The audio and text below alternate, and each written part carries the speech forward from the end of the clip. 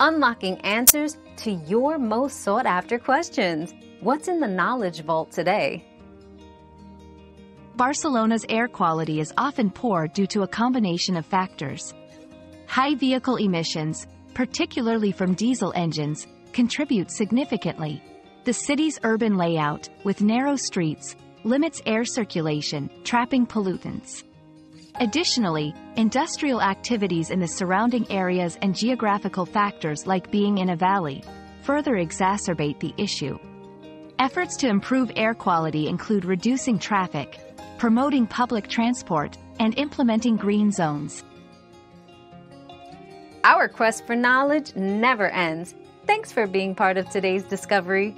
Subscribe, like, and share to join us on the next one.